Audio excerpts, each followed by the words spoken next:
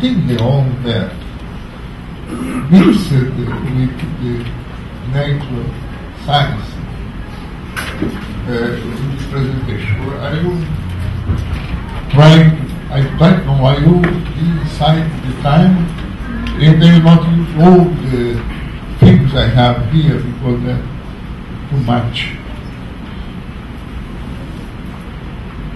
the first uh, point I would like to ask what is sustainable? I could have a conceptual definition, but still I prefer a historical one. Uh, we have had in the 70s uh, the famous model MIT to the Club of Rome with the idea of zero growth in, the world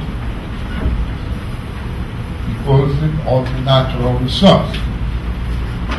This idea had a big impact at that time, the beginning of the so-called ecological movement that's well known. But the second point is not so well known. Uh, in spite of being from our continent, from South America, was the Bariloche model. Uh, putting the problem that we could have some kind of growth, but not the growth, industrial and uh, capitalist growth of the American way of life, while the was uh, I don't know where is the focus here. It's fine. Is here? No. Is here? It's the pointer. Pointer. Thank Oh,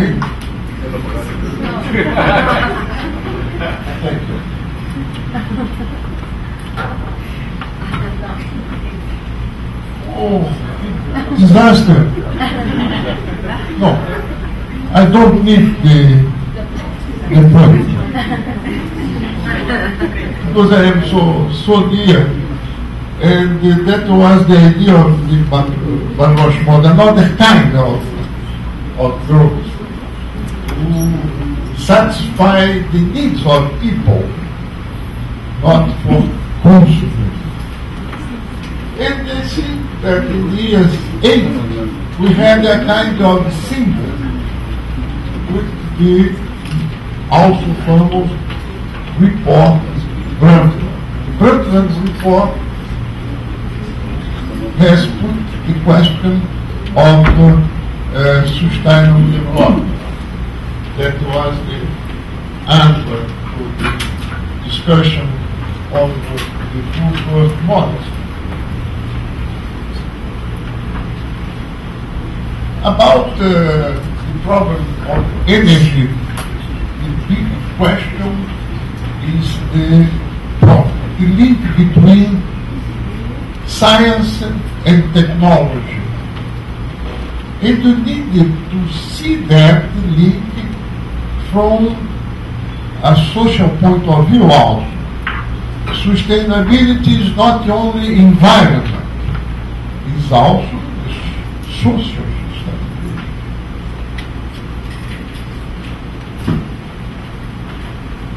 Uh, in spite of the big development after the technological revolution, in particular the problem of use of computer for different purposes.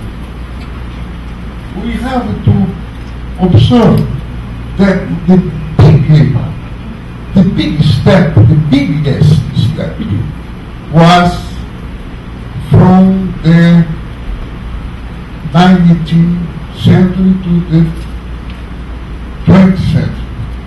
Not now. From the social point of view, in the perception of the common people. Why? Because at the end of the 19th century, we have not the, the car, the aircraft, the communication as we have now, the computers, the space technology, a way of verifying empirically that is to see uh, two photos of the same place. In the case, uh, uh, well-known place, Praça da República, in Rio de Janeiro. And we see the difference from the beginning of the century, 20th century, and the middle of 20th century. This photo is familiar to us. Big building, we have many big buildings in any city in the world, and it is not completely different. This remains up to today exactly as it is. And even here at the street level, we see some cars as we see today. The biggest change was from here to here, not from here to our day. Even if technology can provide the eyes with the smaller computer that they are not equal to the former uh, IBM uh, 1130 of the year 70s in. Now, this here is much more important of computation than uh, 1130. But this is improvement of the 1130. Before the 1130, the older people like me used the uh, calculation La regla de cálculo. Thank you. Régua de cálculo. All, all the people was like that with the régua de cálculo. That was big step from that régua de cálculo to, to the 1130. This is the improvement of, of 1130. It's not different. Here you have uh, arbitrary description of uh, this evolution, the revolution of the human intelligence along with the technological revolution of the, computer. Uh, first to have the capacity of to know use the, the mind for that many, many millions of years ago. After the possibility of use of the hands to pick up the things and move them. After the language, the capacity of to communicate and have information. Uh, after we have uh, the different cultures, the capacity of, of uh, producing knowledge and of uh, communicating this knowledge between people, and so on, so far the, the revolution of Neolithical period with the agriculture. After the press, the machine in the industrial revolution uh, the calculator, and finally the computer, and maybe we could arrive to the to imitate the human intelligence in all aspects, not only in the aspect of calculating, to get information, but the also of the feeling. Maybe. I don't believe. I agree with the, the distinguished physicist Roger Penrose that has the conviction that never to imitate the human mind, to have a kind of human behavior in the machine. But while going near that,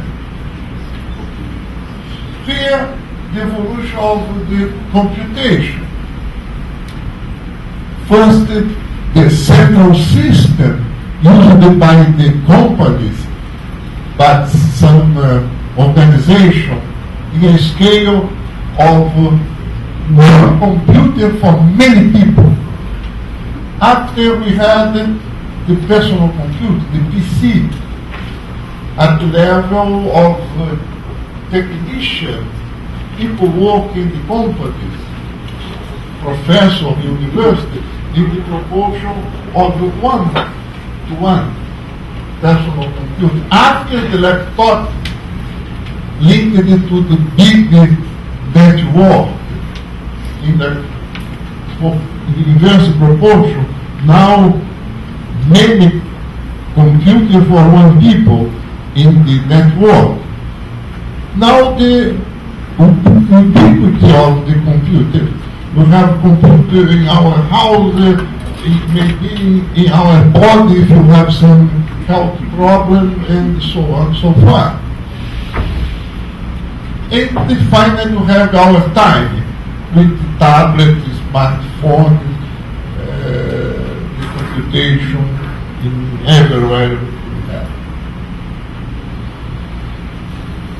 Some new ideas about the utopic uh, future like that put many years ago by Alvin Toffler and now by Domenico De Masi. The world is not like they have proposed, but, but some way is nearby. And now I put another question of our countries, many of them in Latin America, in Brazil in particular, who export things of very low value. For instance, in, in case of iron and soybean, you see here the difference what Brazil exported and the, the importation of technological products. You see the scale, how many tons of uh, iron, steel, or we need to export, import some technological practice of every, every kind. The same you could see here, make the comparison of one ton of a technological product and the one ton of natural product. The, the proportion you can see. The case of China and Brazil, the different flux of money from one country to another. And then you speak a little about our experience in my institution with the, the use of science to develop technology. Problem that we know very well is the problem of uh, climate change. The increase of global temperature, we can have different results, but all things are doing with the very strong increase of the temperature, the global temperature, and the, the reason for that, mainly for the emission of greenhouse gas, big part from the energy solution as the uh, CCS, carbon capture and storage, should be possible, but up to now, this is too expensive and not exactly solved technologically. That could be a possibility. Solve this problem, we needed to think about the possibility of change of the standard of life. That standard of life developed along the industrial revolution and that dominated all the world. Brazil has some advantage, for instance, to use hydro plants. But to have a discussion of that from the other point of view, not only about the climate change. Exist other problems from the ecological point of view for making big dams. This is the commitment of Brazil in the year 2020. This commitment the, the presented by, pres, by President Lula in the Copenhagen conference to have this reduction from a proje projection of groups of Brazilian emission that's possible to be to be exactly like that because of the reduction of uh, deforestation in Brazil. That was the main source of greenhouse gas in Brazil. But is changing completely. Now the situation tends to be like that because we have reduced too much deforestation in Brazil while the energy emission is increasing. So we have changed from this situation to that situation here. So uh, now we need to be careful also with the issue from uh, energy. And the situation is not how many? Two minutes. Okay? But the situation is not very good because we are increasing the emission in the electric sector in Brazil using for complementation of hydro, using thermal plants, and we have also reduced the participation of ethanol in the transport sector because of not very well uh, solved relation between prices of the fuel. I will finish with these two following uh, exactly like that because of the reduction of uh, deforestation in Brazil that was the main source of greenhouse gas in Brazil. But this is changing completely. Now the situation tends to be like that because we have reduced too much deforestation in Brazil while the energy emission is increasing. So we have changed from this situation to that situation here. So uh, now we need to be careful also with the issue from uh, energy. And the situation is not? How many? Two minutes. Okay? But the situation is not very good because we are increasing the emission in the electric sector in Brazil using for complementation of hydro, using thermal plants, and we have also reduced the participation of ethanol in the transport sector because of not very well uh, solved relation between prices of the fuel. I will finish with these two following uh, figures. in the world you can say that developed countries are not reducing their greenhouse gas emission enough. And developing countries, like the and Brazil in particular, they have the tendency of increasing issue because of the economic. And inside each developing country, the income class of, of higher position, they have the same standard of consumption of the developed country. While we have a base of society, a big part of population with very low energy consumption. So we produce inside the developing country the difference you have between rich and the developing countries That ideas I could put, I don't know if I have done my exercise, but uh, that what could present here. Thank you very much. Good afternoon to everybody. I would like to thank uh, the opportunity to be uh, participating in this event and especially the invitation I received from Lisa Reyes. And uh, I think uh, the issue of uh, this event is uh, extremely relevant and I have been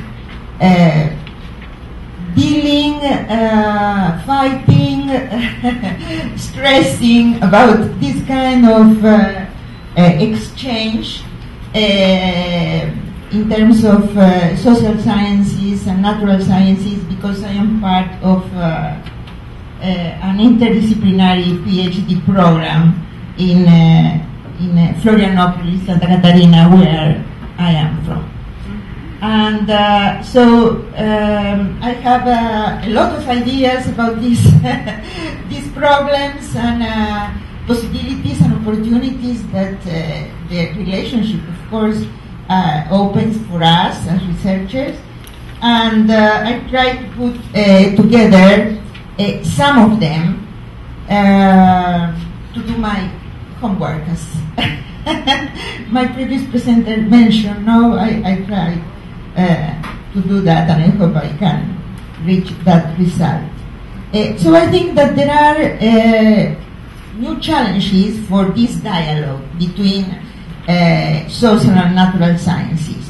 One of the challenges uh, is related to uh, the redefinition of the decision-making process around controversial issues that are fundamentally uh, related to uh, new technologies, emerging technologies that bring different type of risks than the risks that we knew uh, previously at the uh, to the Second World War.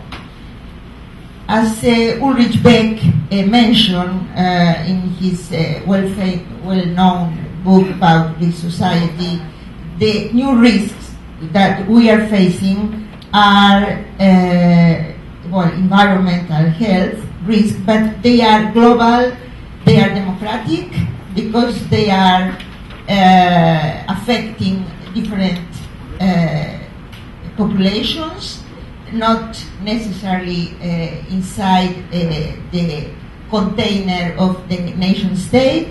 They are invisible and uh, generally they are irreversible. And so, um, in facing this kind of uh, risks, uh, the demand for a more democratic decision process has uh, been developed uh, in social sciences, mainly in environmental sociology, social theory, social studies of science and technology, and political science. Uh, there is a confluence um, uh, in relation to uh, overcoming the, the dichotomy between lay and experts, and um, so how to involve the uh, lay people in the decision process. Uh, in general, the developments, the theoretical developments about and empirical developments as well of this proposition I have some uh, limits. And I will present um, research uh, that uh, uh, where I participated that try to face this kind of challenge. And there are all challenges still facing us. Uh, no, this uh, is uh, uh, no uh, related to global warming, but is uh, the relation between realism and constructivism. This conflict, this divergence, is not only uh, between social sciences and natural sciences, but as well is permeating uh, social sciences as well. Um, so, what, i- what I mean with this? Uh, the, the realist uh, perspective uh, that is very related to the positivistic uh, approach uh, states that uh, the environmental problems, let's say, are objective and are independent of our uh, perception of them. And so we need to uh, quantify the risks. We need to manage the risk, and at the end of the chain of uh, this risk analysis, we need to communicate to lay people which are the risks.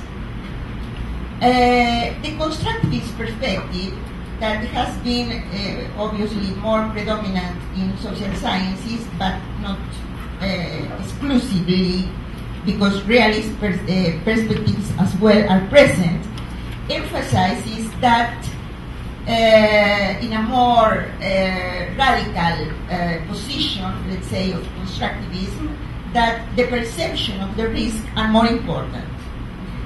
Uh, but what we can see in uh, the last decades is that there is a, a balance between these two positions, especially in social sciences, between uh, realism and constructivism, leading to a, a more uh, realist constructive perspective. So risks, of course, are objective, but it's very important to understand how lay people and also scientists uh, from natural sciences understand these risks. This means that uh, uh, we have there a very rich arena uh, for a dialogue between social and natural scientists. But not always this is easy no, to develop. So these are, I, well, I have in Portuguese, but there, uh, these are the differences between uh, realism and constructivism uh, in social sciences. This is uh, from an article of mine, but shows that in social sciences, as well, there is no consensus, as there is no consensus about anything in social sciences. But, well, so my presentation, the presentation will focus in uh, two cases. One related to GMOs and the other related to climate change uh, and how they are uh, facing this uh, dilemmas and challenges I spoke uh, now. So in relation to GMOs, how uh, the new practices for risk governance are uh, a demand or not, uh, and uh, how uh, are the relations between lay and expert knowledges, and which is the role of mandated science. This is something very important for us because mandated science is a concept that addresses uh, the intermediate, the boundary uh, situation of many scientists that are advising public policies. And so, which are these scientists that are behind uh, some public policies and what interpretation of the social and of nature they have and what interpretation they have a more realistic, more uh, constructivist perspective, etc. So this is a very important issue. I think that uh, in our uh, space now we need to consider. And the other example is about the need of new concepts inside social sciences to lead with uh, climate change. Um, I focus here in a research I am participating, and uh, Ana Maria Vara here too is participating, uh, coordinated by Ulrich Beck, and about uh, climate change. And he tries to bring new concepts uh, as emancipatory catastrophism and to bring uh, climate change inside a new uh, theoretical perspective that is very interesting for social sciences and how social sciences. Uh, so in this case, we have. Oh, oh,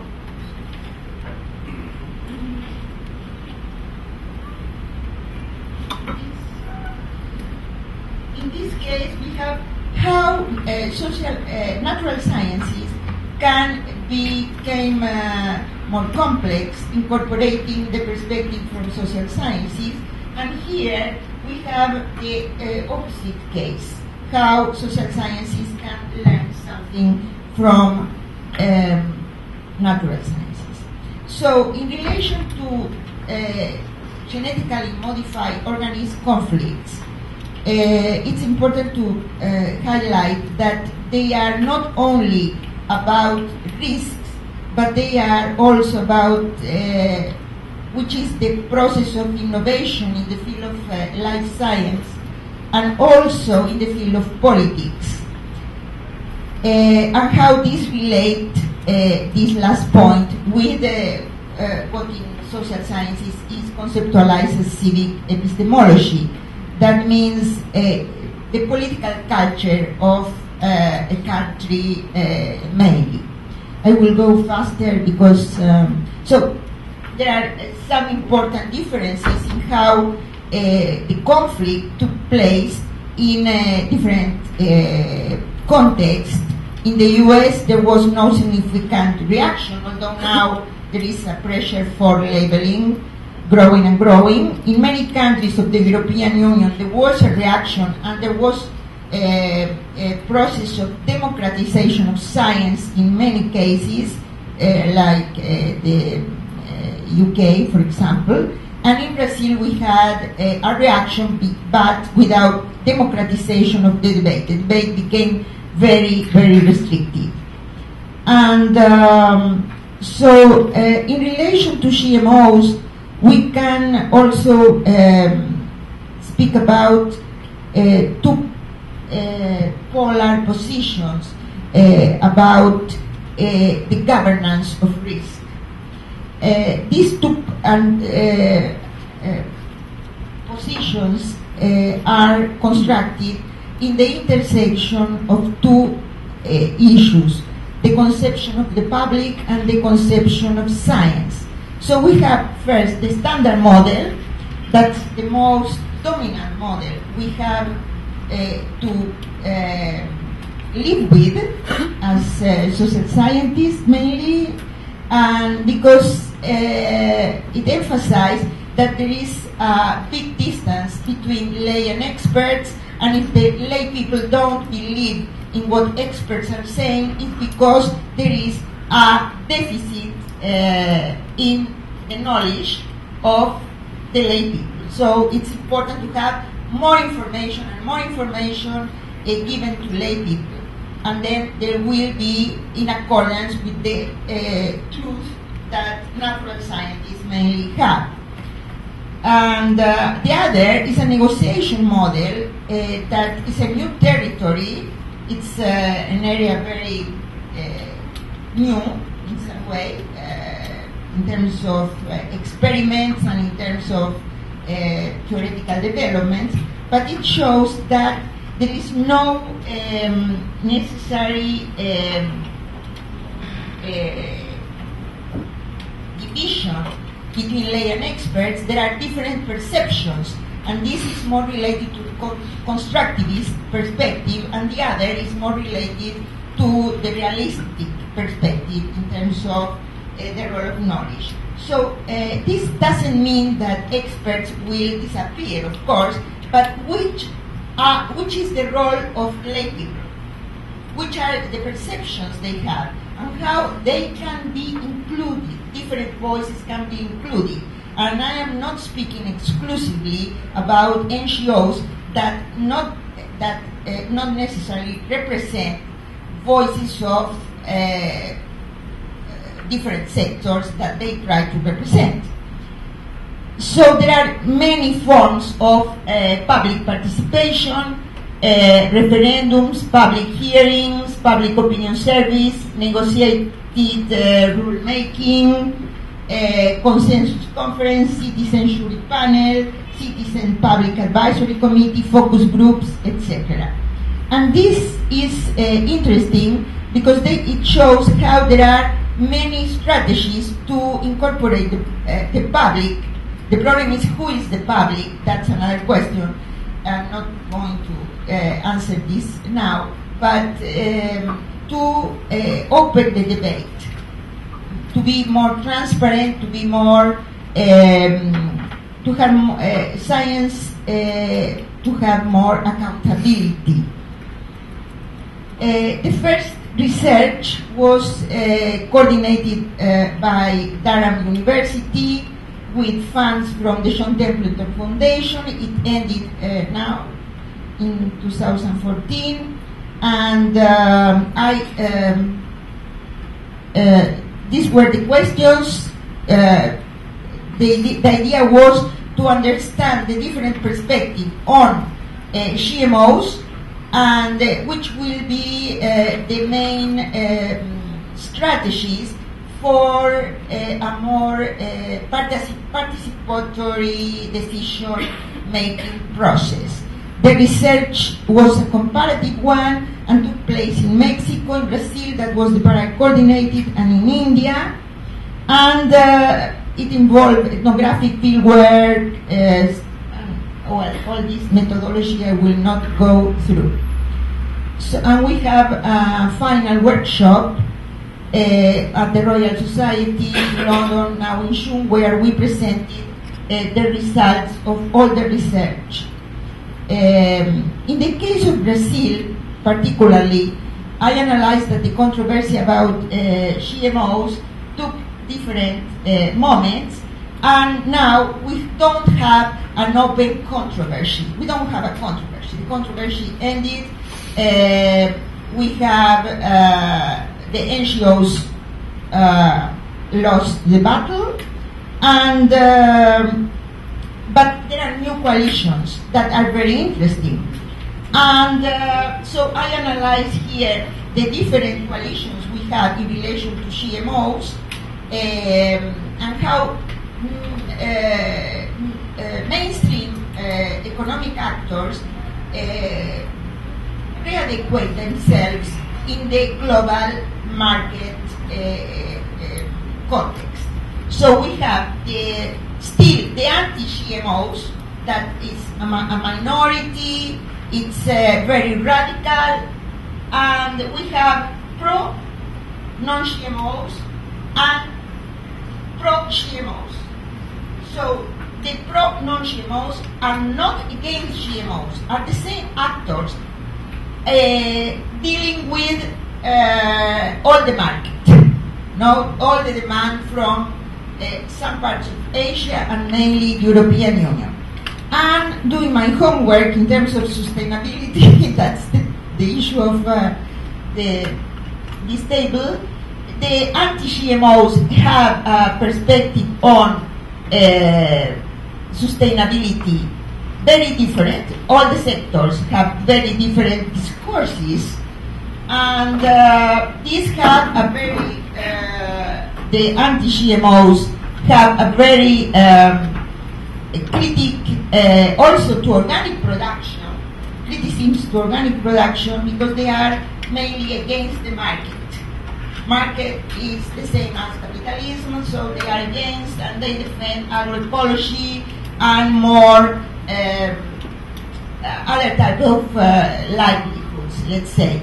Here we have uh, sustainability as environmental management, and here we have uh, sustainability as syn- synonymous of eco-efficiency. With uh, so different perspectives, but for the market, because both are market driven.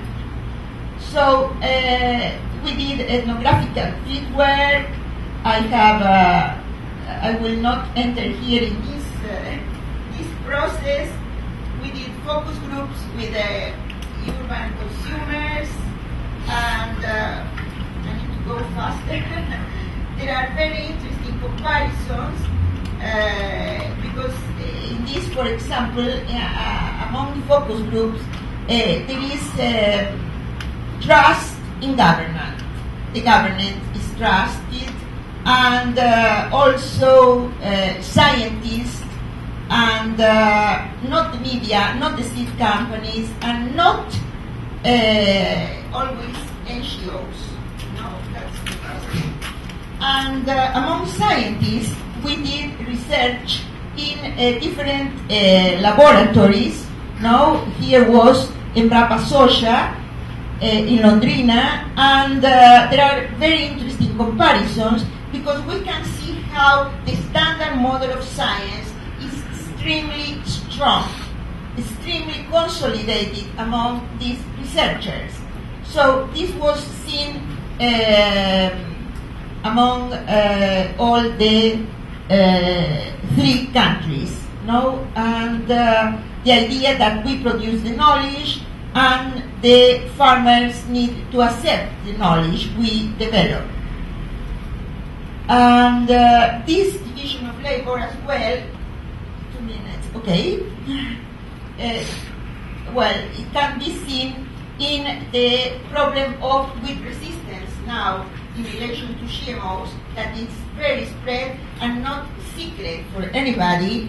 Uh, if you go to a farm fair, everybody is about this, and the problem for the seed industry and the seed representatives of the industry, the seed, the representatives of the seed industry are blaming the farmers. The farmers are not good. It's the same as it happened before with pesticides. The farmers are bad because they are using too much and in a bad way and not following the recommendations, the scientific recommendations. But what we can find is that the, this uh, recommendation of le- uh, levels of acceptance uh, of residues, residues or practices, different practices, are a kind of science fiction and in practice are not viable for the farmers. But farmers are very happy, what I could see in my field research, with uh, GMOs, uh, mainly soybean, because it, uh, the advantage is not in terms of productivity and in terms of rent, but it's in terms of uh, reducing the field work. And that's an important issue. That many of the NGOs that are against GMOs can't understand the point of view of the farmers. Well, um, we did a national seminar, etc. And this is the big I can show to somebody who can, be interested before. This is the other research. I'm, I'm going to take more two minutes to explain. Uh, is uh, called Cosmoclimate and uh, is funded by European Research Council. Uh, and uh, the title is uh, Methodological Cosmopolitanism in the Laboratory of Climate Change, coordinated by Ulrich Beck and an international team participating in this. and the idea is uh, to show how um, climate change can open a very important uh, space for for change that no other risk presented. And um, so, and how this relates from the local to the global, and also, um, well, the idea is to analyze the dominance of uh, a climate narrative and how it's permeating different social actors. And um, uh, Ulrich Beck is bringing new concepts because he thinks that in social science we have uh, like zombie concepts, you know, that are very old to analyze new uh, challenges. So we need new concepts, and so he's uh, it's very interesting to be participating in this research and to be uh, seeing how uh, theory is done in the making, you know, and uh, so he's speaking about a cosmopolitan term that is very different from globalization because uh, it uh, means that for social sciences uh, we need to escape from the methodological nationalism and try to understand um, uh, in a different way the situation of uh, the, these uh, the, the, the opportunities that climate change brings in terms of political and social and economical terms. Um, so the research is divided into blocks uh, analyzing uh, cosmopolitan climate change. One block is analyzing one issue is the role of green cities the other is low carbon innovation networks, where I am participating, and the other is mediating global risk, the role of media. And the other is, uh, the other package is uh, how to develop a new methodology to have a better dialogue with uh, natural scientists in relation to this. Um, so, um, so I will go uh, further here. And uh, going back to the examples, I, uh, what I try to show is how there is, uh, in, in, particular cases, are possibilities of uh, very productive uh, dialogue if we uh, put, we explicit, make explicit our presuppositions about more epistemological presuppositions. I think that they are very uh, central, very crucial for uh, being able to establish a, a, a, dialogue. And together with epistemological uh, presupposition, our value presuppositions. Values are not obviously only permeating social sciences, are also permeating natural sciences.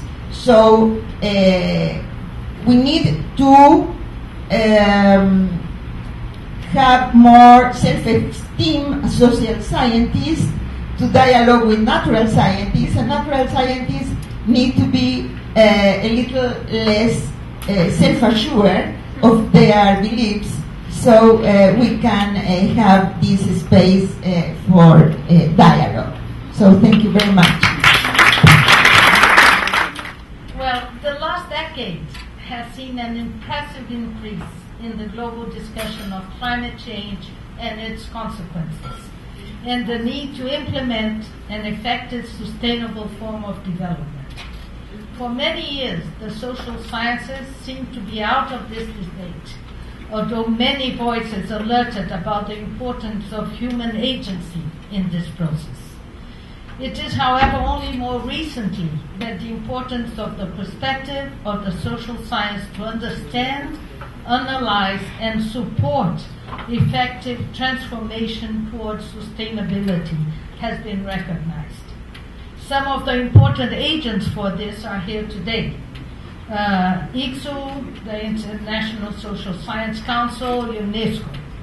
In their different areas of activities, they have insisted in the central role of social sciences have to play if sustainability is to be achieved. And now they have united with other players to form Future Earth, a program that clearly claims that co-design and equitable partnership mark a new phase for the collaboration between natural and social sciences. I would like today to add my voice to this debate and spell out what changes when you use a social sciences lens to look at science, technology, and innovation. So let's first of all have a look of what is being said regarding to social sciences. First of all, there is a growing recognition that without the social sciences, it is not possible to understand the new global context. For they not merely describe, retell, and count the already familiar, but they provide new conceptual tools to understand reality. These concepts and findings are essential for any effective public policy. In fact, neither the physical and biogeochemical processes nor the rates of change can be fully understood apart from their anthropogenic impacts and origins. But in spite of that, climate change research is still very small among social scientists. Um, Balsett mentioned that many barriers for a stronger social science presence in climate change research, among which the subordinate role of social sciences in predefined agenda, a divorce of agendas between natural and social sciences, and not least, an enormous difference in funding for social sciences research in climate change. But she does mention one aspect which I think is central.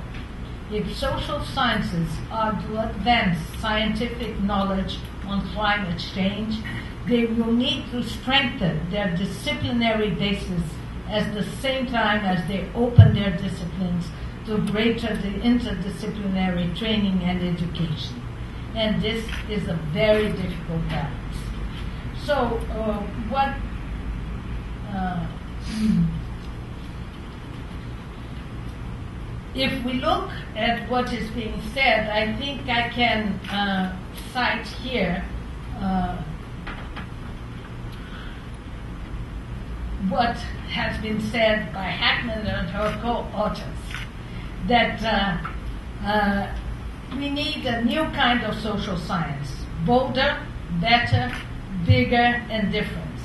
And citing their own words, bold enough to reframe and reinterpret global environment change as a fundamentally social process, better at infusing social science insights into real world problem solving, bigger in terms of having more social science involved in this, and different in the sense of reflecting upon and changing its own ways of thinking and doing science.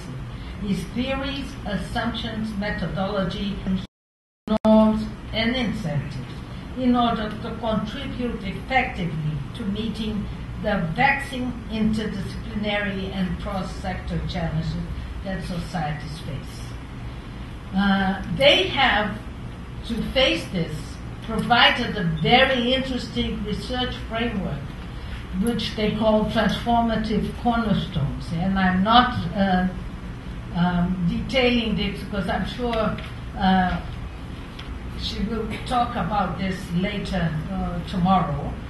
But what I would like to say is that although I totally agree with this framework and I think it is very interesting and all comprising, I would like to say that uh, there is one other layer of complexity that is needed if you want uh, to really understand sustainability and uh, um, sustainable development.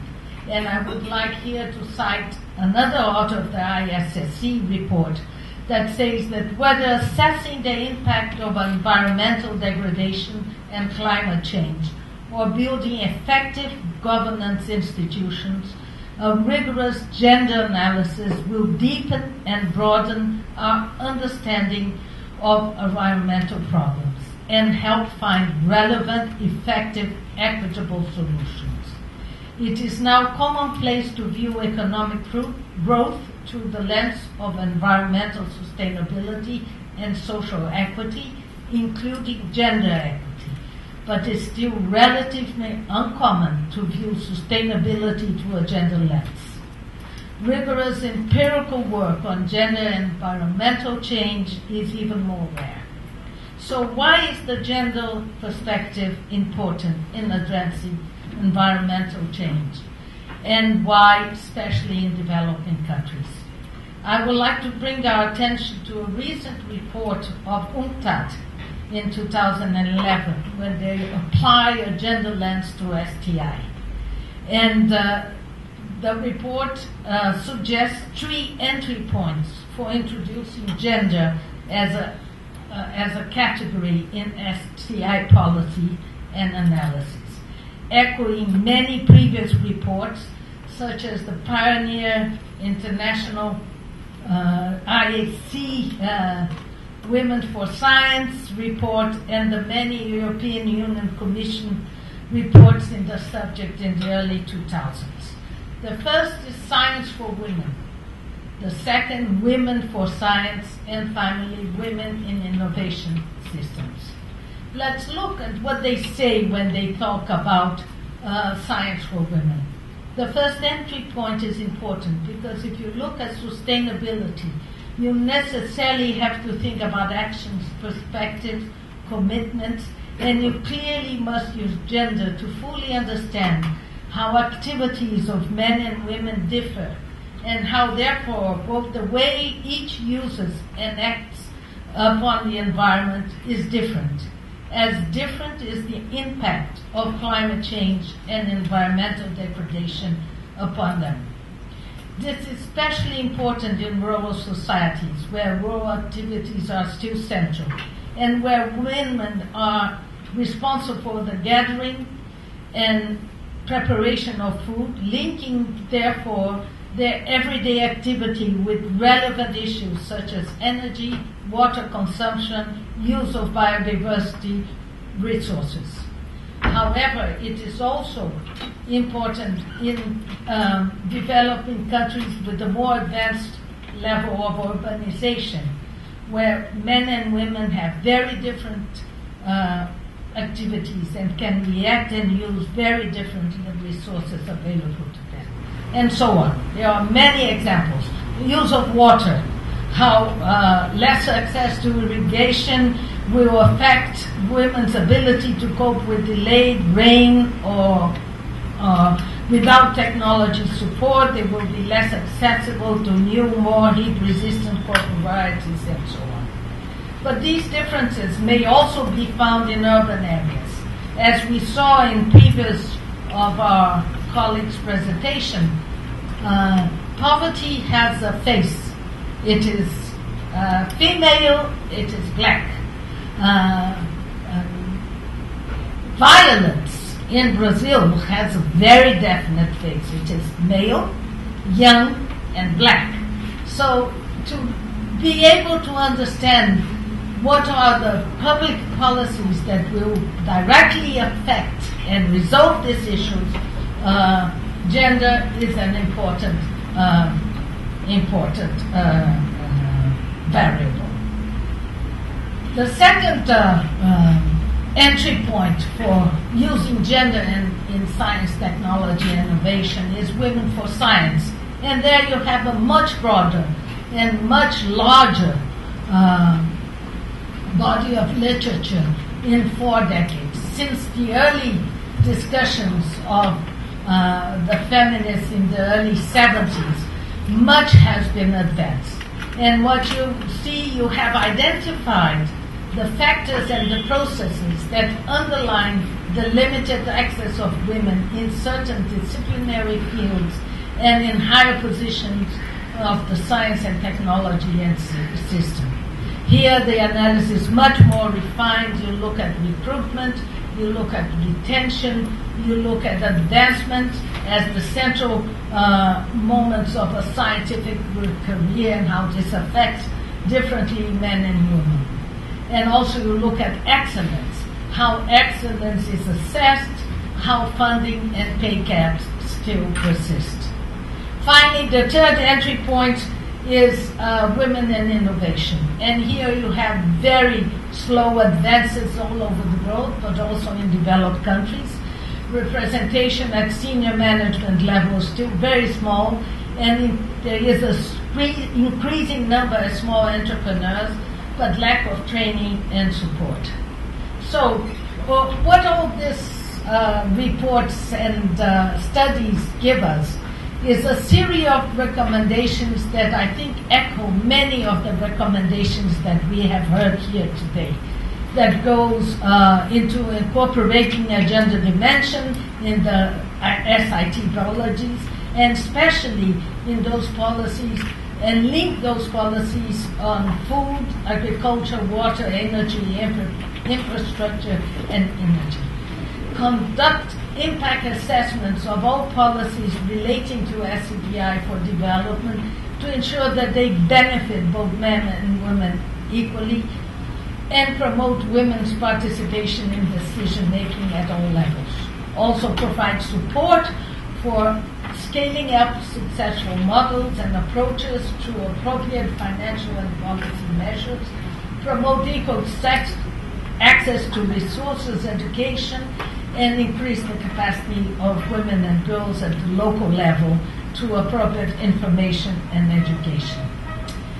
But I think that one important issue that has been highlighted is the issue of how you need uh, to really a data collection that is gender focused at all levels. If you collect data about um, sustainability and environment change using the family as a unit, you don't understand how inside the family there are really strong divisions and that need to be highlighted. So I think that it is not a trivial question how you collect your data. It will influence the questions you ask for your research, how you, um, the, the empirical analysis you will undertake, the policies you will formulate. So I think it is absolutely essential that gender disaggregated data on the impact of environmental change or in green institution is absolutely central. And although qualitative assessments pro- provide rich insights, gender analysis also need more rigorous empirical testing of propositions that is found on existing literature. So I will end here saying that. Uh,